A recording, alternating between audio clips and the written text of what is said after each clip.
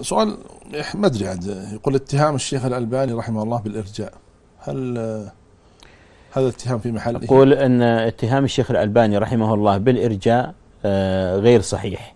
وأنا أذكر الإخوة الذين يتكلمون في مثل هذه القضايا بأمر أوضح من هذا وأبين وهو ما يسمى الإرجاء عند الفقهاء.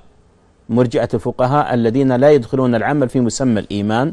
ومع ذلك فإن شيخ الإسلام بن تيمية رحمه الله يقول إن الخلاف بين بينهم وبين باقي أهل السنة لفظي وأنهم من أهل السنة ولا يجوز إخراجهم عن أهل السنة لأجل مثل هذا الخلاف. هذا في من ينحي العمل عن مسمى الإيمان.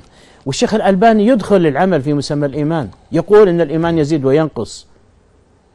لكن خالف في مسألة لا نقول إنه آه، أصاب فيها مثل قضية تارك الصلاة ونحوها فهذا اجتهاد منه رحمة الله تعالى عليه. يمكن أن يعالج بطريق آه، بيان الأدلة الواضحة والبينة ونحرص على تكثير أهل السنة ونحرص على جمع كلمتهم. ولا يجوز أن نكون إقصائيين بهذه الصفة.